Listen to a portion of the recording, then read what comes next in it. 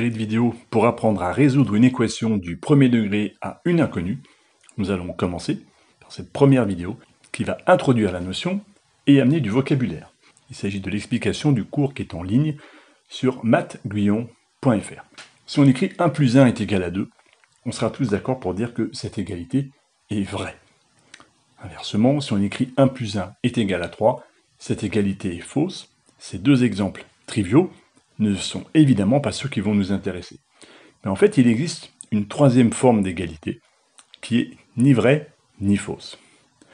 Vous l'avez découverte à l'école primaire quand on vous écrivait 1 plus point d'interrogation est égal à 2.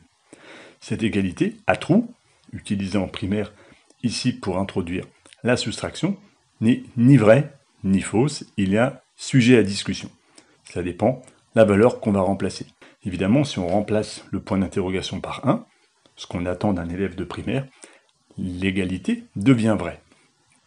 En fait, ce type d'égalité, avec une inconnue, ici symbolisée par un point d'interrogation, va être quelque chose qui va être extrêmement fréquent en mathématiques pour résoudre des problèmes. Le point d'interrogation n'est pas rigoureux, et maintenant, on l'écrira 1 plus x est égal à 2.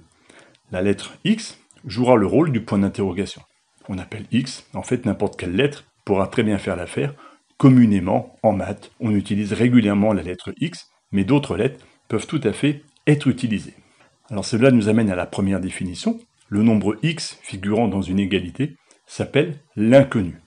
Retenez bien ce nom, l'inconnu, un nombre qu'on ne connaît pas, puisque sa valeur n'est pas clairement définie. L'égalité qui va contenir des inconnus, ou au moins une inconnue, est appelée une équation.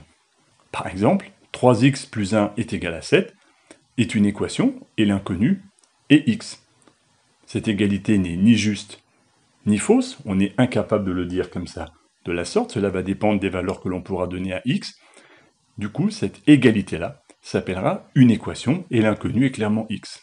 Une deuxième égalité, bien plus complexe, 7y moins 5 est égal à y plus 1, est une équation, là l'inconnu est la lettre y, et là, il y aurait vraiment une discussion intéressante pour savoir pour quelle valeur de y cette égalité est-elle vraie ou fausse. Ce sera l'objet de tout le chapitre et des vidéos suivantes. On peut imaginer un autre type d'équation. 2a plus 3b est égal à 1 par exemple, qui est toujours une équation mais qui possède maintenant deux inconnus, a et b. Ce type d'équation avec deux inconnus sort complètement de l'objectif de ces vidéos et de ce chapitre. C'est vraiment un problème à part entière, bien plus compliqué. Et ce type de situation existe et on peut imaginer des équations avec trois inconnus, voire plus. Un mot important de vocabulaire à retenir est ce qu'on appelle la solution d'une équation. Et la solution, c'est la valeur qui va rendre l'égalité vraie. Par exemple, si on a l'équation 1 plus x est égal à 2, cette équation, on ne sait pas si elle est vraie ou si elle est fausse, mais si je remplace x par 1, 1 plus 1 étant égal à 2, cette équation devient vraie, donc le nombre 1 est solution de l'équation.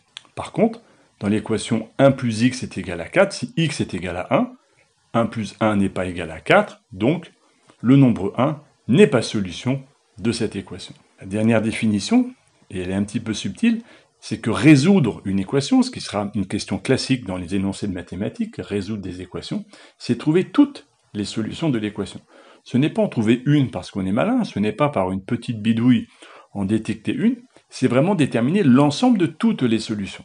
Un dernier mot de vocabulaire, avant de rentrer vraiment dans le vif du sujet dans la première vidéo.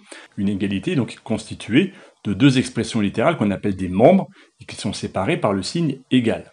C'est-à-dire que l'équation x plus 3 est égale à 4x moins 2, par exemple, eh bien on va appeler x plus 3 le membre de gauche de cette équation et 4x moins 2 le membre de droite. Cette vidéo est terminée. N'hésitez pas à mettre un petit like ou à vous abonner si vous ne l'avez pas déjà fait. Sur le site mathguyon.fr, vous pouvez trouver des exercices d'application et cliquez sinon tout de suite sur la vidéo suivante pour poursuivre ce cours. Bon courage